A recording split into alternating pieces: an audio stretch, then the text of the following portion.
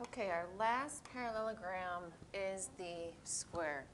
So again, to the upper right um, hand corner of the notes, you can see the relationship between parallelogram, rhombus, rectangle, and square.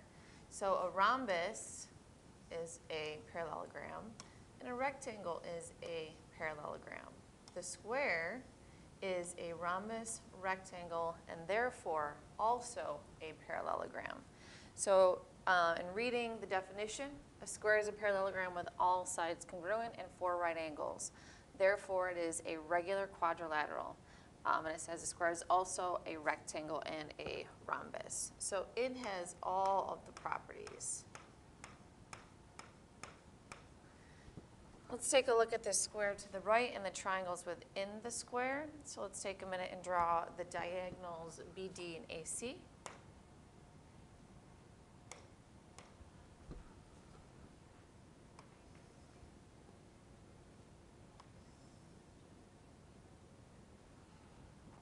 Okay, let's note that point of intersection again as E. We know, uh, let's mark all sides congruent. Okay, we have a right angle within the interior as it's a rhombus, so the diagonals are perpendicular. And also since the diagonals are congruent, let's note that all of these segments, the two segments of each diagonal are also congruent. So we have um, all of these isosceles right triangles above. So let's fill that in.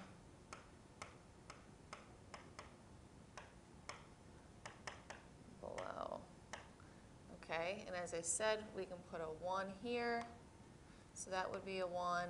Alternate interior, this is a 1.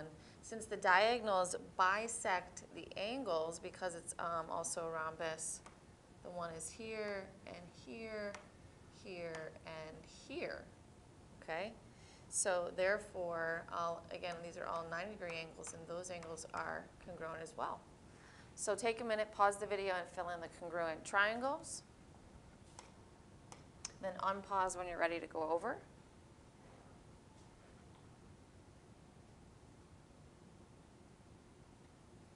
So triangle ABC is congruent to triangle CDA. Triangle BCD is congruent to triangle DAB.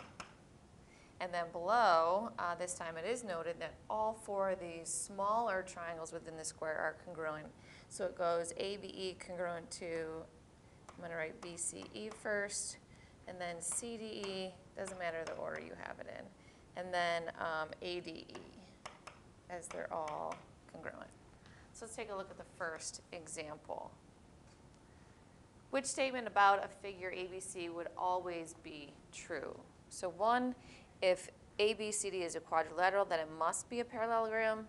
No, as we have yet to study the trapezoids. Okay, but that is out. It doesn't have to be a parallelogram.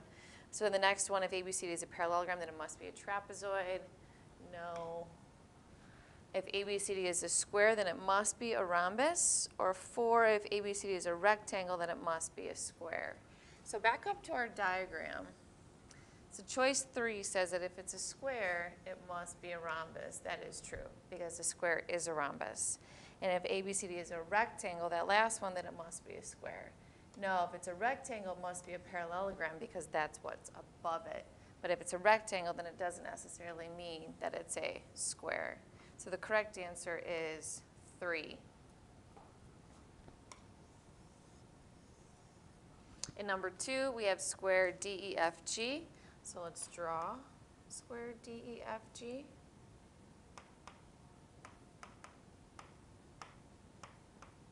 It says that DF is equal to, the length of DF is 2x minus 17.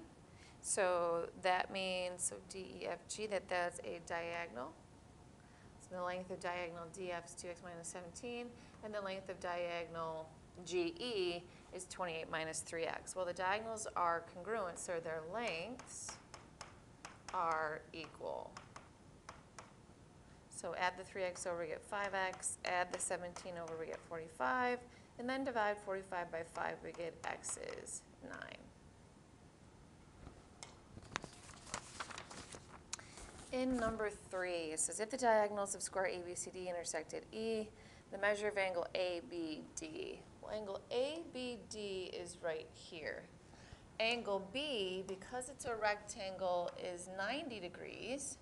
And then remember the diagonal bisects the angle. So each of these halves are 45 degrees. So the measure of ABD, algebraically, 7 minus 2x, is equivalent to numerically 45. Subtract the 7, we get negative 2x equals 38. Divide by negative 2, and x is equal to negative 19. In number four, um, it says if the length BC is 5, so the side of the square is 5, find the length of the diagonal. So we know that length CD is also 5, and we have a 90 degree angle right here. So I'm going to redraw this triangle nice and large over here. So there's the 95, 5. These two angles must be congruent, and we know that the diagonal bisects this angle right here, which is 90 degrees. So this is a 45, 45, 90, or one of our special right triangles. So you can do Pythagorean theorem if you'd like, but if you memorize the relationship, the hypotenuse is whatever the leg is, radical 2. So length of BD is equal to 5 radical 2. All right, number five, find the perimeter and area of the square, given that this half of the diagonal is seven. So this other half is seven, and I need to find x in order to find the um, perimeter and area. So I'm gonna draw the triangle once again over here, and we know it's the 45, 45, 90. So I'm gonna say this is seven, and these are both x. I will take the time over here to do Pythagorean theorem uh, because I think for you guys it's just more challenging to have memorized um, the relationship. But I made a mistake. This is 7, this is 7, and this is then 14. Okay? So we have x squared plus x squared equals 14 squared. So 2x squared equals 196. Uh, divide by 2, x squared equals 98. Therefore, square root of 98. Don't forget the plus or minus. That's 49 times 2. Reject the negative, and x is 7 radical 2. So remember, it's half the hypotenuse radical 2.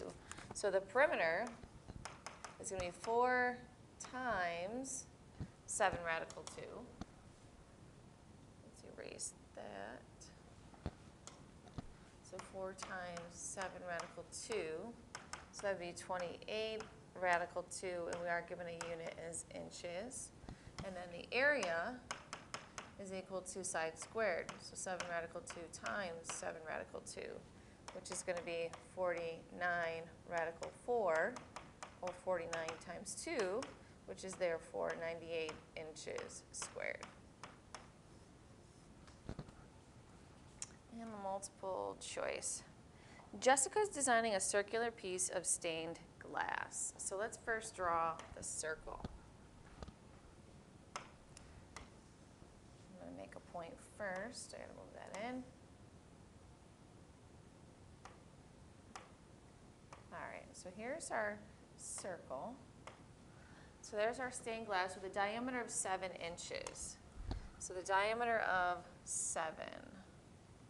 Well, I'm going to wait to draw that. Um, she's going to sketch a square inside the circular region to the nearest tenth of an inch. Um, the largest possible length of the side of the square is blank. So let's sketch the square within the circle first. And then I'm going to draw the diameter. Okay, so you can see the diameter is a diagonal of that square. So remember, the angles are bisected, so this is a 45 degree angle, 90, 45 degree angle. And we know the diameter is 7 inches. Well, back up here this time, let's actually use the relationship. So if the hypotenuse is a whole number, then the legs are half the hypotenuse radical 2. So the legs are half of 7, which is 3 and a half radical 2. So in, or as a decimal, 3.5 radical 2 is equal to 4.94 dot, dot, dot, dot, to the nearest tenth. That would be choice 2.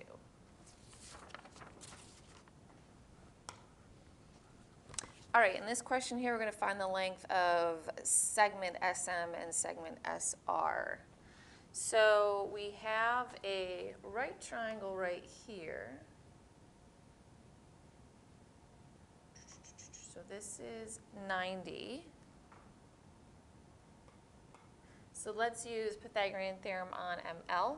So ML equals the square root of 18 squared minus 9 squared, and that's equivalent to 243, which breaks down into perfect square 81 times non-perfect square 3, and that's going to be 9 radical 3. So because that's 9 radical 3, that is the 30, 60, 90 relationship. So this is where you can actually put in the angle measures. Opposite the 30 is half the hypotenuse, and this then would be 60. So therefore, over here, this adjacent angle um, that's complementary to 60 because of the right angle right here would be 30 degrees, and therefore this as 60 degrees. So if we know, right, the longer leg is 9, it's an x to 2x relationship between the shorter leg and the hypotenuse. So then we can do x squared plus 9 squared equals 2x squared. So subtract the x squared, or rather 2x squared. Before we can subtract the x squared, this turns out to be, um, and I can actually square the 9, change that to an 81 equals 4x squared. Now subtract the uh, x squared. So 81 equals 3x squared. Divide by 3, 27 equals x squared. Take the square root. So x equals a positive negative. Uh, 27 is 9 times 3. Let's reject the negative. And x equals 3 radical 3. So SM is the x, which would be 3 radical 3. And then SR is going to be double that, which is 6 radical 3. And then last, we're going to look at a coordinate geometry proof. But before that, we're going to go over how you prove um, the quadrilateral is a square. So the first thing we want to do is we want to show it's a rhombus. So length of all four sides and show that they're equivalent. And then you have a couple different options. So you can show that one of the angles is a blank angle or show that the diagonals are blank. Um, the first one, uh, you can show that one of the angles is a right angle because a square is a rhombus with a right angle, or you can show that the diagonals are congruent. Now, if you want to show that you have a right angle, you have to use the slope formula to show that the slopes of adjacent sides are negative reciprocals.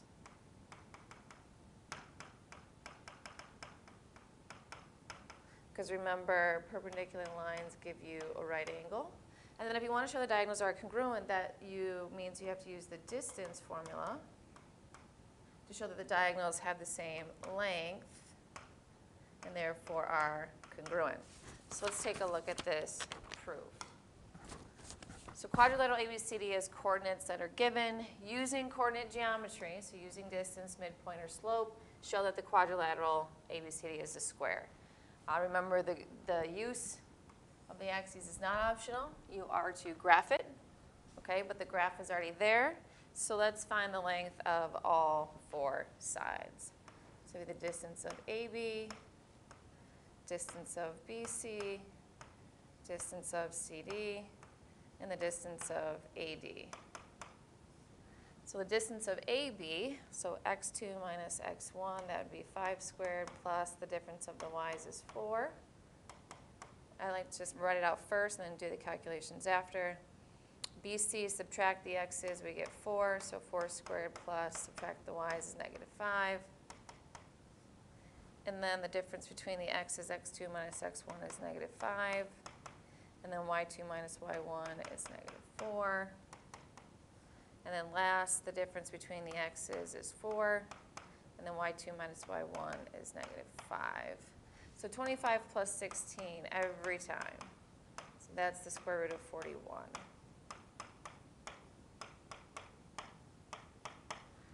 Okay, so my write-up, so I know that all four side lengths are the same, therefore all four sides are congruent and it's a rhombus.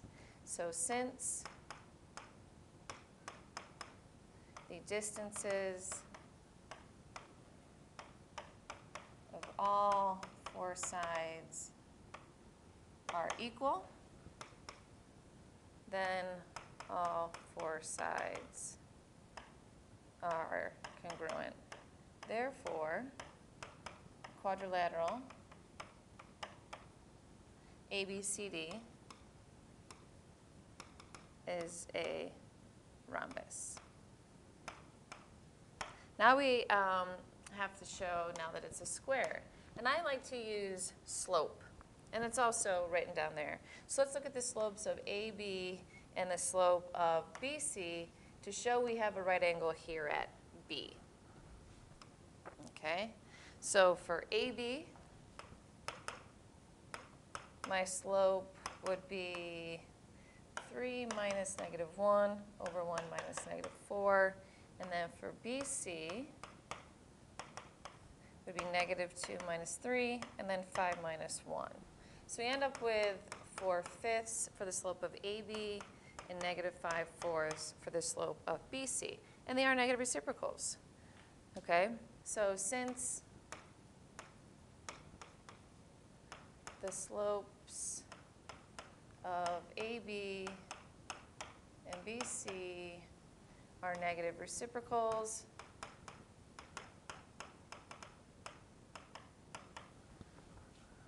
um, then AB is perpendicular to BC and angle B is a right angle.